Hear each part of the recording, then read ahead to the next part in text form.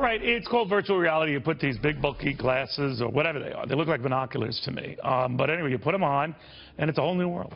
And Oculus Rift uh, shipment problems are indicating that there are some problems in that new world. Tech Insider, tech editor, a very, very smart guy, Ben Gilbert, who normally stops by just to re-educate me on what is hip and now and happening and make me look like the fool I am. So, Ben, very good to see you. good to see you. I always felt that this thing reminded me of the 3D craze. And that, uh, get on board, it's going to be hot, hot, hot. And I love 3D. Sure. Uh, but it never did get hot. It might still. But now we have problems associated with these devices. What, what's going on? So the 3D craze was very much uh, a fad, and a lot of that technology became what is now virtual reality. When you put on these headsets, you experience 3D without any of the, the kind of silly nonsensical experience that you have when you go to see something like Avatar at a movie theater, right? And you put on a set of right, glasses right. and things pop out at you.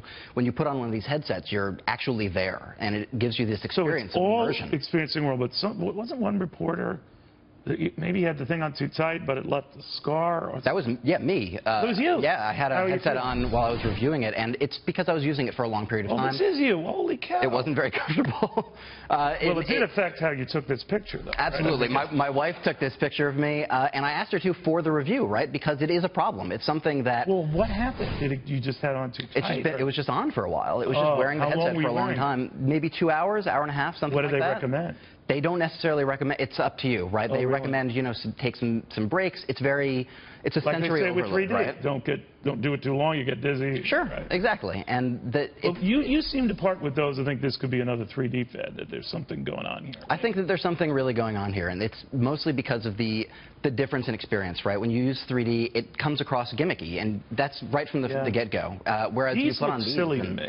they look very silly when you're right? wearing them. Do you they're need something that big and bulky? Can it be a little tamer? So there's slightly smaller ones that your so, your phone might work with, right? There's one from Google, there's one from Samsung. You slip your phone into a device, you put it on. Those are good, but they're not great. The thing that you can get from one of these bigger, bulkier headsets with a computer powering it is much higher resolution, much higher fidelity, and much more realistic experiences as a result. It really feels like you are on top of Mount Everest or underwater or wherever else. When in fact you're nowhere near either. Right. Uh, ben Gilbert, thank you very, very much.